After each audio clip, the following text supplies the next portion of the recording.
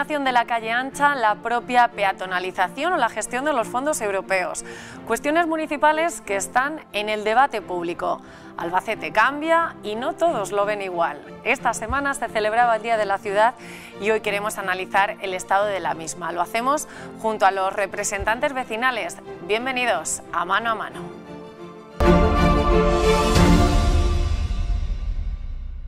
¿Cómo ve usted Albacete? Pues yo ahora mismo Albacete, bueno, siempre me ha gustado, pero ahora casi casi me gusta más. Mira, vengo de la calle ancha, de la calle ancha mayor, ancha, y están poniendo las luces, no sé, mm, son cosas que nos alegran. ¿Cómo la veo? Sinceramente un poco sucia. Ahora mismo, sobre todo la obra nueva que están haciendo, está bastante sucio todo. Por lo demás me gusta, es una ciudad tranquila, una ciudad donde se vive bien. Albacete es una ciudad muy cómoda en la que tienes de todo, llegas a, a todos los sitios rápidamente y ahora con todas las mejoras estas que están haciendo del centro, lo están haciendo peatonal, me parece fantástico. ¿Qué le pone? ¿Qué le quita? ¿Le gusta? Pues lo han dejado súper, súper bonito. La verdad es que sí que le han dado un buen meneo, un buen meneo a la ciudad y se ha quedado muy bonita. Yo Albacete para mí es eh, lo más. Albacete es una de las mejores ciudades y más tranquilas que hay en toda España. La gente la vio muy familiar, muy cercana y sinceramente es una ciudad que yo creo que vamos puedes ir a todos los sitios andando. Tienes de todo, lo que quieras la verdad que no te falta. La gente es muy amable y no sé, yo estoy aquí muy, muy cómoda. ¿Algo que eches en falta para que sea ya una ciudad perfecta para vivir? Yo echo de menos porque al venir de Andalucía están muy bien las tapas. Entonces la gastronomía mmm, regular. ¿Echa en falta algo? ¿Algo que le falte para que ya sea la ciudad perfecta? Pues sí, ya que me lo preguntas, sí, veo mm, cosas para la inclusión. Yo tengo una nena con discapacidad y necesita inclusión. Residencias públicas, públicas, que está muy mal. Que la gente sea un poquito mejor y, y más formal y porque hay algunas piezas por ahí que son demasiado. A lo mejor he hecho en falta, mmm, o que todavía no lo conozco mucho, algún parque que a lo mejor diga voy a pasearme, a mirar el paisaje, a sentarme en un banquito. Pues un poquito más de ocio, más tipo teatro, más tipo espectáculo, más, sí, un poquito todo de eso. A mí no me falta de eso nada porque mira, ahora mismo me voy a hacer a un taller a hacer trabajos manuales. Los lunes y jueves voy a gimnasia. Así que no, no, de todo eso no echo de menos porque tengo lo que necesito. La playa yo creo que la echamos de menos todos, pero bueno, está cerca también, a hora y media o así tenemos la playa. Bien, pues el 9 de noviembre Albacete celebra el Día de la Ciudad y con esa efeméride nos preguntamos cómo ven ustedes Albacete, qué le pondrían, qué le falta, cómo ha cambiado en este tiempo.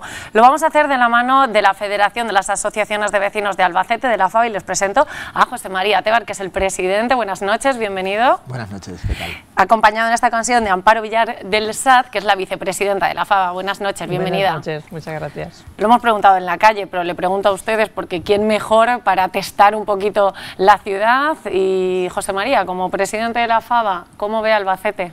Bueno, yo la veo muy bien. La verdad es que todo lo que hemos visto al, inicio eran bastante buenas las críticas y yo, yo, creo que Albacete es una ciudad que, que se mueve, que está que es muy dinámica y que yo creo que vamos avanzando y en líneas generales yo creo que es un aprobado alto y estamos muy contentos cómo se está desarrollando el movimiento en Albacete, o sea que de momento muy contentos desde la FABA. Mucho que mejorar, evidentemente, pero vamos a probarlo.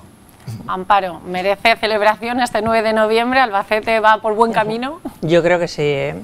Además, Albacete yo creo que de unos años a esta parte se ha visto una evolución bueno, totalmente favorable. Ha dejado de ser un poco una ciudad-pueblo, que parecía así como el, el, el, recogía a toda la provincia, para ser una, pasar a ser una, una ciudad moderna, progresista, me refiero, vamos, avanzada. Y, y, realmente creo que se han ido cubriendo muchas carencias que tenía y ahora mismo es una ciudad a la altura de cualquiera de España. Yo ahora mismo, si tenemos que destacar algo, pues bueno, tenemos que hablar de esa peatonalización, que ha sido un proyecto pues muy largo, que, mm. que está siendo, ¿no? porque solo tenemos una, un primer tramo de ese proyecto de Almendra Central que anunciaba el ayuntamiento, pero que nos, ya, nos da ya una imagen ¿no? de lo que va a ser o de lo que puede ser o de lo que supone peatonalizar mm. el centro de una ciudad. ¿Qué valoración hacen de, de todo esto? Bueno, inicialmente era, era una demanda de los De vecinos. Nosotros, eh, desde la Federación de Vecinos, siempre hemos impulsado y creíamos en la peatonalización.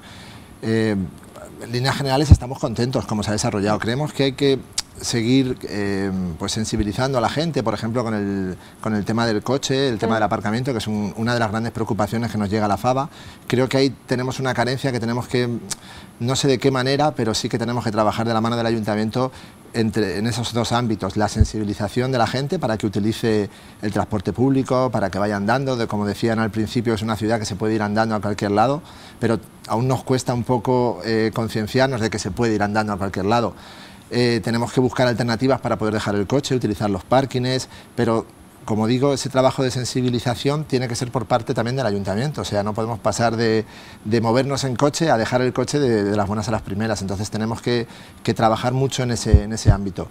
En cuanto a la peatonalización, bueno, ya te digo, en la FABA era una demanda que teníamos histórica y, y creemos que, que- que beneficia a la ciudad, que hace eh, una ciudad más rica, una ciudad más accesible, trabajando en la inclusión, como también comentaban al principio, eh, creemos que, que es un acierto. Eh, pero que tenemos que trabajar, no nos debemos olvidar, porque otra de las grandes preocupaciones que hemos tenido siempre en la FABA es que esa calle ancha, esa peatonalización no se convierta en una calle de paso, sino una calle donde, nos, donde queramos estar, donde nos guste eh, pararnos, tomarnos algo. Entonces hay que trabajar en ese ambiente siempre respetando eh, pues el descanso de los vecinos y respetando todas estas normas, pero a priori muy contentos. suscitaba mm, pues cierta incertidumbre, ¿no? Precisamente si se iba a poder conciliar ese paseo respetuoso con esa actividad comercial que hemos visto como eh, comercios ancestralmente, al menos eh, eh, yo los recuerdo vacíos o cerrados. Hablo, Mm. hablo de Legorburo, por ejemplo, ¿no? Parece como que van tomando actividad y que ha sido eh, causa-efecto de la peatonalización. No sé si lo, Sí, si sí, lo veis yo, así.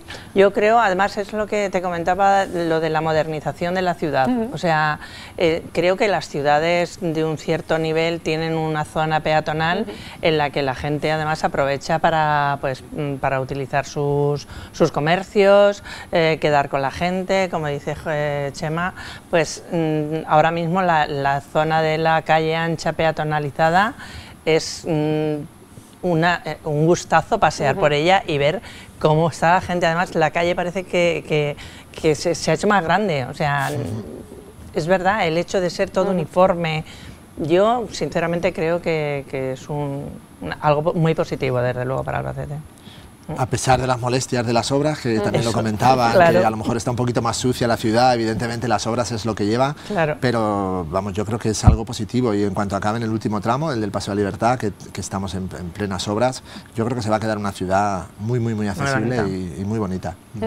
Ese problema de, de aparcamiento, José María, que comentaba, ya en- yo recuerdo cuando tomaba posesión del cargo la nueva junta directiva de la FAO, ya hablaba también de esos problemas de aparcamiento, de cómo se iban a solucionar. ¿Se ha podido avanzar algo en esto? Eh, ¿Hay alguna propuesta firme o, o un firme compromiso, por lo menos, de, de estudiar un cambio? No es fácil, es una demanda histórica eh, del movimiento vecinal y de todos los vecinos. Constantemente nos llegan quejas acerca de- del problema del, del aparcamiento, no solamente en el centro, porque evidentemente se va trasladando a los barrios Claro. un poquito más próximos al centro, más alejados. Fátima, eh, Franciscanos, el ensanche es un problema eh, bueno, es un problema de siempre, el tema del aparcamiento y ahora evidentemente con la peatonalización pues se ha agravado más. El ayuntamiento es consciente del problema, pero yo creo que pase el equipo de gobierno que pase por el ayuntamiento no conseguimos dar con la tecla para solucionarlo. Entonces hay que seguir trabajando. Eh, la creación de parking a lo mejor sería una, solución, pero hay problemas con el espacio. El subvencionar de alguna manera, eh, incentivando al comercio, es una de las propuestas que mandamos al ayuntamiento. El trabajar de manera conjunta comercio con parking para ver si conseguíamos un poco eh, pues, Abaratar. abaratar el precio del parking y conseguir esa mentalidad, porque es cierto que en Albacete nos cuesta llevar el coche al parking. Pues si mentalizamos y sensibili- sensibilizamos, yo creo que podemos conseguirlo, pero hay que trabajar mucho todavía. Yo, cre- yo además creo que, que es cierto que es una ciudad en la que se puede ir perfectamente andando a muchos sitios. Y es verdad que mm, no podemos de pronto conseguir que una zona central que no tiene zonas de aparcamiento todos queremos ir con el coche a la puerta de, y entonces, que es una concienciación también ciudadana de saber que puedes ir andando y desde luego yo creo que ahora mismo con las líneas de autobuses que hay mm, es muy fácil llegar en Albacete en los transportes públicos, o sea que, que es una concienciación ciudadana también, o sea... Evidentemente, y incluso eh, lo que os comentaba también anteriormente, pero tenemos que, propiciar también ese, ese, poder ir andando o ir en bicicleta. Eh, otra de las demandas que hemos llevado al ayuntamiento es, por ejemplo, el arreglo de los carriles bici, el enlazar tramos que están eh, que se corta y que desaparece el carril bici, pues buscar la, la, solución para que se queden enlazados. Es decir, hacer de verdad accesible Albacete, que evidentemente lleva su tiempo, pero que no se deje de trabajar. Y yo creo que el ayuntamiento va por esa línea, en escucharnos, buscar alternativas y, y conseguir hacerla mucho más accesible de lo que es. Yo dentro de, bueno, yo creo que nos hemos ido concienciando simplemente con el hecho de esa inauguración de la peatonalización, mm. que ha sido todas esas molestias, toda esa incertidumbre, esos problemas que veíamos de circulación, han desaparecido en el mismo momento en el que la hemos empezado a usar y hemos visto que no pasa nada, que se llega a todos los sitios igual, que nos acostumbramos rápido ¿no? a, los, a los cambios y que al final, pues eh, en general, eh, es algo que, con lo que los vecinos y las vecinas de Albacete están bastante contentos, contentos aún así. Mm suscita críticas, como casi cualquier cosa. Y entre lo más escuchado es, bueno, parece como que se focaliza todo en el centro de la ciudad y nos olvidamos a nivel municipal de lo que ocurre, de lo que ocurre en el resto de barrios, barrios de segunda, barrios de primera. ¿Desde la FABA lo ven así o a lo mejor es un trabajo que, que desconocemos más y lo visible es lo que vemos en el centro? Eh, bueno, evidentemente ahora está de moda el centro, claro, la petrolización pues eh, absorbe mucho, la almendra central, como decías, evidentemente absorbe mucha, mucha novedad y es normal que ahora tenga más protagonismo. Esto no debe excluir el que nos acordemos de los barrios, evidentemente los barrios tienen muchas necesidades y, yo creo que tenemos que seguir trabajando en, arreglar eso, en, que no barrios que son muy próximos al centro no parezca la periferia. Yo hablaba de la zona del ensanche y es cierto que muchas veces eh, nos cuesta un poco el, darnos cuenta que como si Albacete estamos eh, presumiendo que es una ciudad accesible, no podemos decir que barrios como Franciscanos o Fátima, Vereda, son barrios muy alejados, están, son, eh, están próximos al centro. Hay que invertir más en ello. Ahora, eh, una de las reuniones que hemos tenido últimamente con el Ayuntamiento era por el tema de las luces de Navidad, el tema de arreglos de calles, el tema de las famosas marquesinas que aún nos faltan, el arreglo de acerados, o sea que es cierto que aún se sigue trabajando Em, en arreglar la ciudad en, su conjunto, pero que tenemos que profundizar más en esos barrios con, que, tienen aún necesidades, no necesidades como antiguamente tan, tan graves o tan gordas, pero sí que es cierto que, siguen teniendo esas necesidades que tenemos que cubrir con el día a día. Amparo, franciscanos y Fátima a lo mejor son las zonas Bueno, yo creo que, franciscanos y Fátima, pues porque es una zona que, que tiene más años. claro. indudablemente tiene más necesidades que tiene el barrio de Medicina o Llanos del Águila pero yo creo que, es un poco como por orden. O sea, estamos con la peatonalización, estamos con el centro, pero no porque se olviden los barrios sino porque había que, afrontar esa situación y ese arreglo de, las calles centrales, o sea, de la calle de la zona centro, pero yo creo que efectivamente, como dice Chema, nosotros seguimos reivindicando que todos los barrios tienen necesidades. Y es verdad que el contacto con el ayuntamiento mm, nos, dicen que, que poco a poco una vez que hemos pasado lo del centro, pues les toca al resto. Pero yo creo que no hay un barrio en concreto, en las zonas que son más, antiguas, como pasa con, la zona del ensanche, ¿vale? Porque es más difícil también, o sea, mm, es más difícil hacer las aceras más anchas, pues porque ya la estructura de la ciudad es distinta, ¿no? Pero yo creo que, en general hay barrios que necesitan, por supuesto, mm, más... Más atención que otros, pero por el deterioro lógico de, de la ciudad. O sea que Sí, evidentemente, como decía Amparo, eh, la zona del ensanche que comentábamos, evidentemente es, más mayor, es más vieja, entonces evidentemente necesita más cosas. Pero sí que hay que romper una lanza a favor del ayuntamiento en el que siempre están pendientes de esas, sugerencias, de esas, de esas opiniones a la hora de, materializar las deficiencias que encontramos en estos barrios. O sea que voluntad y de trabajo y poquito a poco se van consiguiendo cosas. Hay mucho aún que conseguir, pero yo creo que poquito a poco vamos avanzando. Yo sé que muchas veces los medios de comunicación tiramos de titular, pero la FABA hace escasa una semana eh, sí que denunciaba, entre comillas, ¿no? un cierto alejamiento por parte del ayuntamiento después de feria. Eh, yo no sé si es una lanza eh, para una voz de, ayuda, como si dijéramos, estamos aquí no solo en feria, no solo para actividades culturales, queremos proponer, tenemos propuestas un poco o a qué se debe ese alejamiento. Bueno, eh, evidentemente no era un alejamiento tal cual, era una, llamada de auxilio, como decías, para que no se olvidaran. Como te digo, sí que es cierto que el ayuntamiento está trabajando de la mano de la FABA constantemente, todos los concejales están a disposición de, los vecinos y eso es de agradecer. Tanto con esta corporación como con cualquier otra corporación han trabajado de la mano de la FABA y sencillamente yo creo que esa es, la manera de mejorar Albacete. ¿Quién conoce mejor que un vecino su barrio. Es, vamos, sería no utilizar un recurso esencial. Esa nota de prensa era un poco relacionada en que seguimos trabajando con ellos. No hay tal alejamiento como tal, pero sí es cierto que tenemos que seguir trabajando juntos. Eh, nos gusta, como siempre, eh, nos hemos cansado de decir esta junta directiva nueva que lleva apenas un año, el, participar activamente en esas decisiones que toma el ayuntamiento, no solamente información. Creemos que el proceso participativo es, antes de, desarrollar cualquier proyecto, que se cuente con, con, la Federación de Vecinos, que se cuente con los vecinos para sumar. Únicamente la intención es sumar y mejorar cualquier decisión. Y, por esa línea iba. Eh, creemos eh, firmemente, porque así nos lo ha hecho llegar el alcalde y el equipo de concejales, que, ellos también creen en esa participación y únicamente lo que queríamos era seguir continuando en eso, que, siguieran contando con nosotros y, y, que tomáramos todos decisiones para mejorar Albacete. Y ahí vamos. Bueno, todo esto también un poco a raíz de polémica iluminación navideña de la, de la calle ancha también, de este, de este tramo que ya es visible, ¿no? Cómo va a ser un poco esos eh, arcos eh, de, iluminación navideña. Yo primero quiero escuchar un poco también para poner en contexto a quien nos esté viendo en casa toda la polémica que ha habido desde la oposición, equipo de gobierno, eh, recopilar un poco de lo que se ha hablado durante estos días y, y ahora lo hablamos en plato. El coste de lo que es la iluminación completa de toda la ciudad es de 133.000 euros anuales. Es más del doble lo que nos va a costar ese trozo de la calle ancha. Más del doble.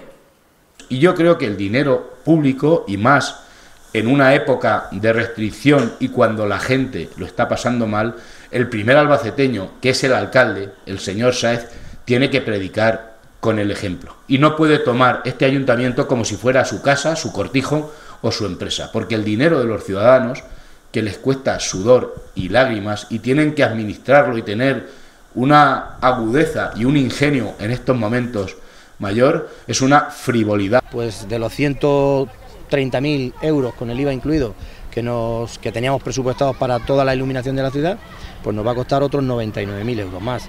Eh, ¿Eso es mucho o poco? Pues depende, lo veremos cuando acabe la Navidad, cuando pase enero y cuando veamos todo lo que ha generado esa iluminación navideña para la ciudad de Albacete y para la provincia de Albacete, porque muchísima gente que no es de Albacete vendrá aquí, comerá, dormirá, también irá a la provincia y por tanto será el momento de analizar si, si esos 209.000 euros, que es la cantidad total que el ayuntamiento ha puesto, es mucho o poco.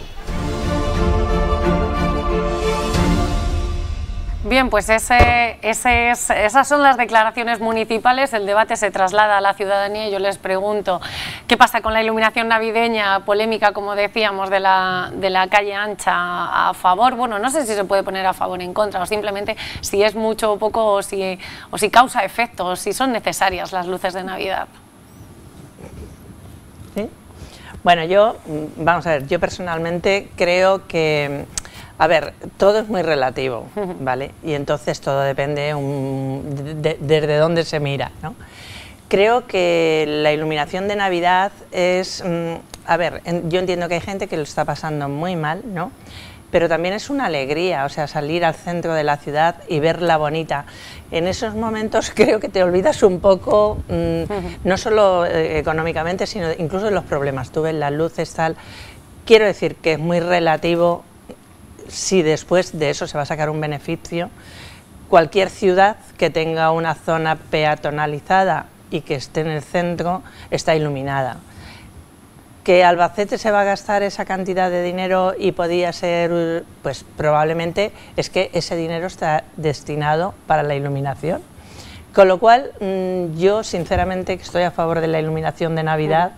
Nosotros desde la FABA, lo que sí que, que, además lo hemos hablado con el ayuntamiento y de hecho nos parece súper bien que se ilumine el centro, pero también reivindicamos que se iluminen los distintos barrios, ¿vale?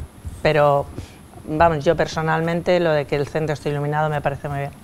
Claro, esa nota de prensa a la que aludías mm. anteriormente iba enfocada en este término, mm. claro, es decir, em, lo que te comentaba de la participación antes, yo creo que una de los descoordinación que ha habido entre Ayuntamiento y FAB ha sido eso, el no juntarnos antes para explicarnos el proyecto de iluminación, para explicarnos eh, cómo se va a iluminar Albacete y por qué se ilumina en el centro, las cantidades de dinero que se, que se, que se van a invertir. Ayer mismo en esa reunión el alcalde nos decía que sí, que efectivamente lo que había que haber hecho es haberlo explicado más. Y, yo creo que lo hemos entendido cuando nos ha explicado eh, qué va destinado cada dinero, cómo ha conseguido la financiación, eh, los presupuestos que pues, anteriormente ya los hemos estudiado y hemos visto que eran acordes, pues ahora lo únicamente que tenemos que hacer es trabajar para iluminar todo Albacete. Como decía Amparo, no nos podemos olvidar, aunque ahora esté de moda, vuelvo a decirlo, del centro, pero no nos podemos olvidar de los barrios. Eh, hay barrios que, mm, hay, no todos los barrios se pueden iluminar, evidentemente, pero sí eh, plazas estratégicas, zonas eh, muy concretas que a lo mejor lo que hacen es un poco potenciar esos barrios. Entonces, por ahí va nuestra reivindicación anteriormente y eso es lo que únicamente hemos transmitido al alcalde.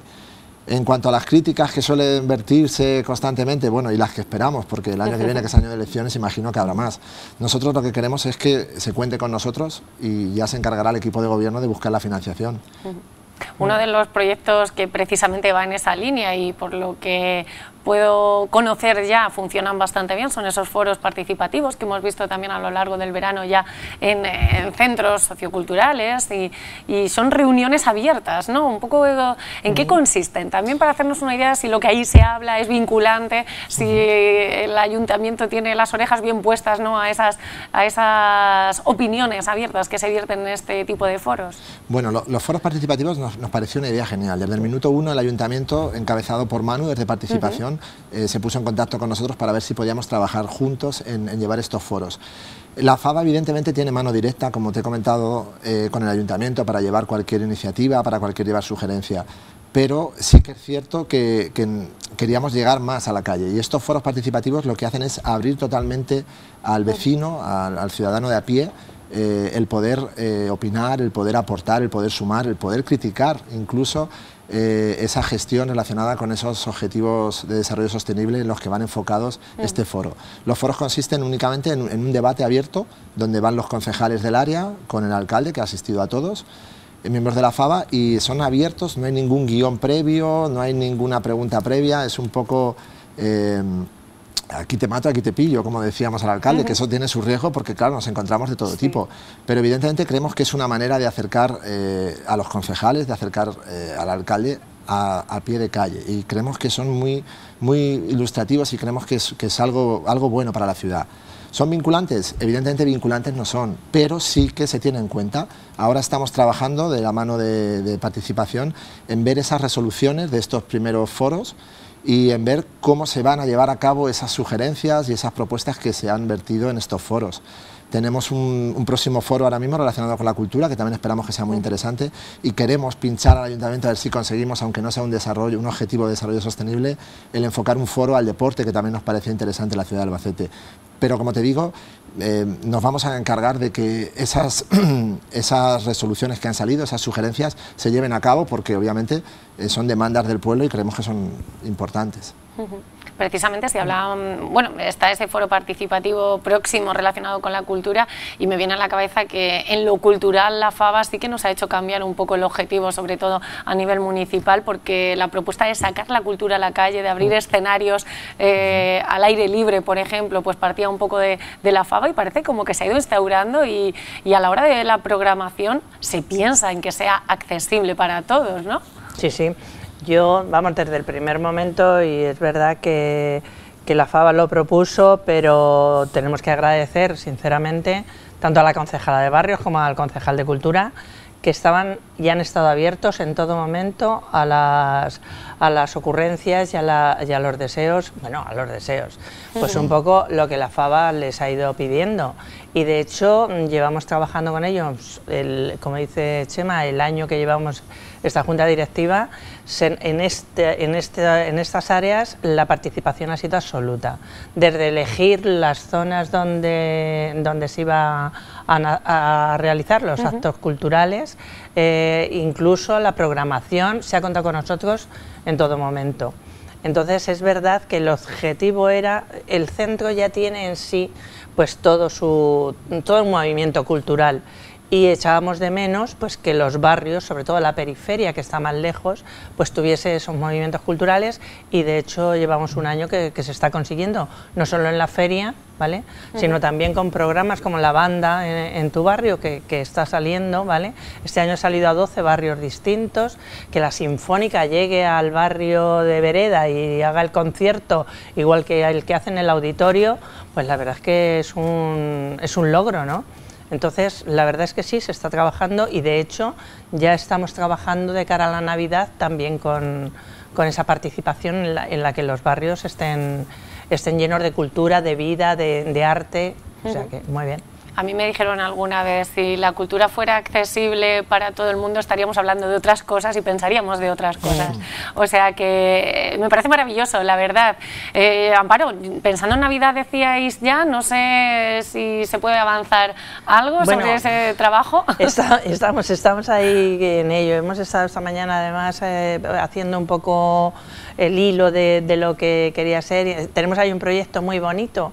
Vamos, creemos que además va a gustar mucho y pues vamos a implicar mucho a la gente de- de, pues, del folclore de los barrios también, ¿vale? Para hacer, mm, no- creo que no puedo adelantarlo todavía, pero se va a hacer una especie de, de rutas eh, por, lo- por distintos barrios de Albacete, pues con un ambiente muy navideño, ¿vale?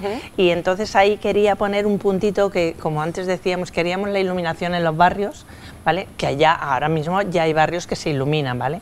Lo que pasa es que en la FABA necesitamos que se iluminen todos, ¿no? Todos los barrios queremos que se Por iluminen. supuesto. Entonces, lo que hacemos es buscar un poco este proyecto que te contaba para, para Navidad, pues el, el acercamiento, el, el- eso entrañable de, de una cuadrilla tocando villancicos, mm, tomándote una mistela con los vecinos, o sea, pues por ahí va un poquito el proyecto y la verdad es que estamos trabajando ya desde hace un, un tiempo. Muy bien. Qué duda cabe que verdad que acercar eh, la cultura a los barrios era, era- Mm. es algo que, que no se puede ni poner en cuestión. Ya salió ese primer proyecto con la feria en los barrios, que yo Mm. creo que, que ha sido un éxito rotundo. Que se ha Eh, consolidado total. no solamente descongestionando un poco la feria, que, que también hace falta, pero también llevando la feria a barrios que habitualmente no, no, pues, no todo el mundo puede estar todos los días en la feria. Entonces nos pareció una idea genial desde el minuto uno y la vamos manteniendo y cada vez con más e- éxito de gente, porque esta feria, quiero recordar el concierto de OBK, no cabía nadie más en esa plaza, En la zona de Parque Sur. Y, y trabajar en esa línea, el ayuntamiento está por la labor de trabajar en esa línea y, y nosotros encantados, es decir, de seguir llevándole sugerencias y seguir trabajando eh, de la mano del ayuntamiento, como decía, en, en sacar esa cultura a la calle. Ahora tenemos las artes escénicas, donde también se lleva eh, a los diferentes barrios, como decía Amparo, la banda y muchas más sorpresas que tenemos para esta Navidad, el descongestionar un poco este auditorio, todos los teatros, para llevarlo a los barrios y que todos sea la cultura para todos, accesible para todos, que es fundamental. Y luego hay una cosa fundamental, como dice Chema, con una cierta calidad. Quiero decir claro. que no se lleva cualquier cosita. O sea, y eh, el concierto, pues un concierto a ese nivel gratis. O sea, la verdad es que los barrios están encantados. Sí. Yo precisamente creo que es una medalla de la FABA esto, Mm. porque lo de la Feria de las Artes Escénicas, que lo tenemos de rabiosa actualidad, el pensar que también se puede hacer fuera del teatro, creo que eso es porque ha sentado conciencia esta feria en tu barrio, por ejemplo. Eh, ¿Habéis recuperado toda la actividad ya, centros socioculturales? Casi casi hablamos ya de normalidad, del tú a tú que la FABA tenía como bandera. Bueno, ¿verdad? Regular. No, no, es, cierto Estamos que, en ello. que, En ello, que que era una de nuestras grandes Sí. preocupaciones cuando llegamos a esta junta directiva. Eh, estamos trabajando en ello, como decían por ahí. Es cierto que hay barrios que, que son mucho más activos, otros que les está costando más, pero en el, eh, sin llegar a recuperar eh, esa dinámica que teníamos antes de la pandemia, eh, pero sí se va consiguiendo poquito a poco. Los centros socioculturales siguen eh, con sus actividades, eh, yo creo que casi al 100%. Nos, hay barrios que les está costando un poquito más llenar esas actividades, pero no nos olvidemos que las actividades que proponen los barrios eh, son actividades donde no llega el ayuntamiento. Es decir, es- somos como un brazo más del ayuntamiento para cubrir esas necesidades.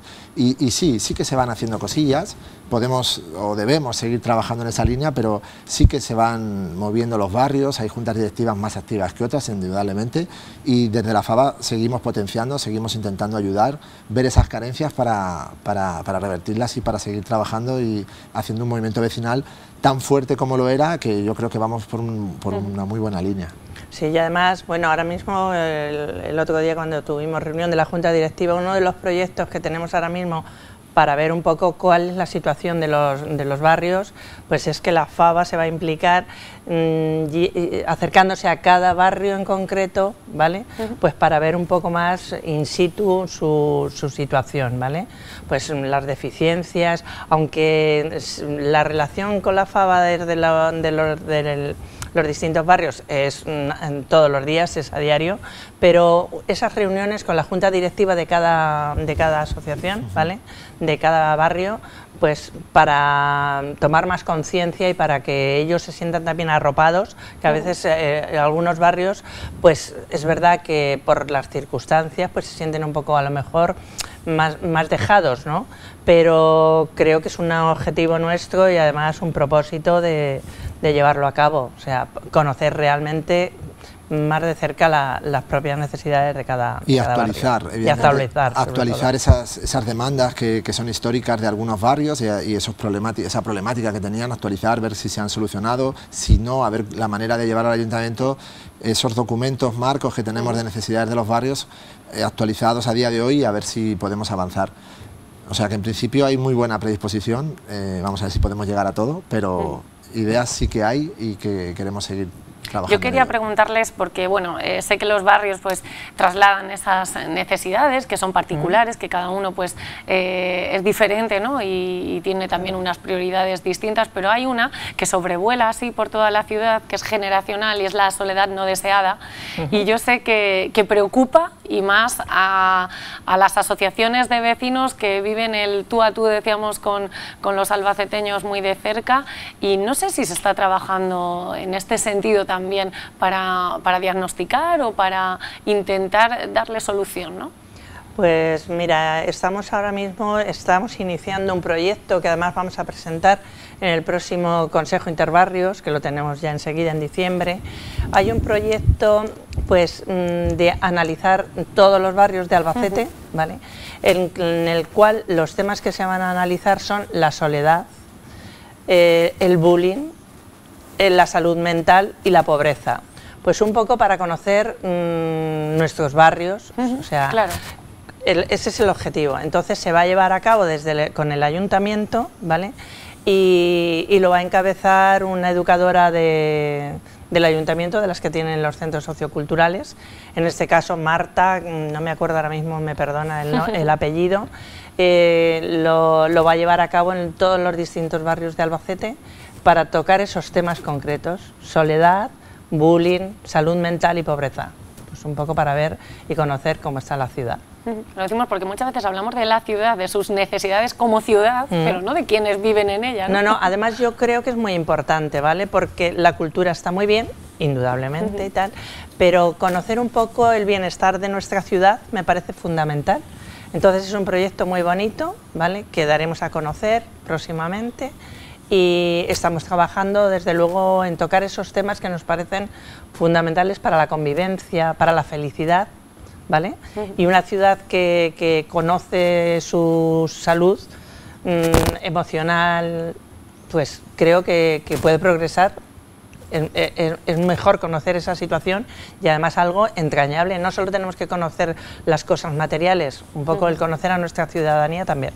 Sí, yo, recuerdo cuando hablaba contigo en esa primera entrevista que comentábamos antes, que dos de los objetivos que tenía esta FADA era trabajar con los más jóvenes, buscando esa inclusión total, el, conseguir actividades a través del aprendizaje-servicio, otro tipo de, metodologías, el, acercar a esos jóvenes al movimiento vecinal, pero también nuestros mayores. Es cierto que tenemos barrios que se van envejeciendo y tenemos que dar una respuesta. Es una gran lacra hoy en día la soledad y, queremos combatirlo a través de diferentes proyectos. O sea que es una de las grandes preocupaciones que tenemos en la FADA y por supuesto que vamos a, trabajar en ello.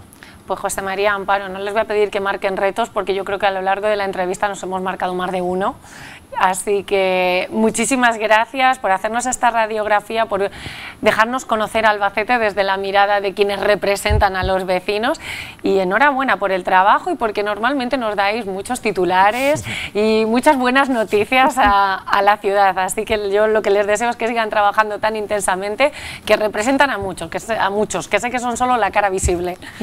Genial. Muchas gracias a vosotros. Sí, gracias por darnos, por darnos voz y estamos a vuestra disposición siempre. Pues muchas gracias y ustedes ya saben, con motivo de este Día de la Ciudad, el 9 de noviembre, hoy queríamos testar un poquito qué sucede en Albacete, cómo vemos la ciudad y hacia dónde nos encaminamos. Yo les espero el viernes que viene con un nuevo tema que tratar aquí en mano a mano, así que no me fallen. Buenas noches.